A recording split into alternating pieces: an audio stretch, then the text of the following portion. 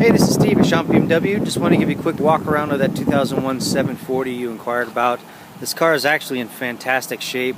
Um, there's no scrapes or bumps or bruises. Everything looks uh, fantastic on it. The wheels aren't really curved at all. Again, this thing's in great shape. Uh, just walking around the side here.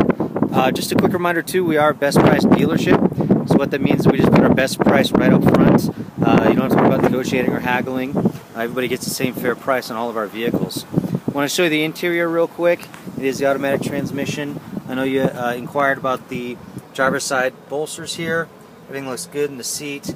Um, a little bit worn, but there's no scrapes or tears or cuts or anything like that. So uh, looks good all the way around. If you have any questions, give me a call. 303 730 1300.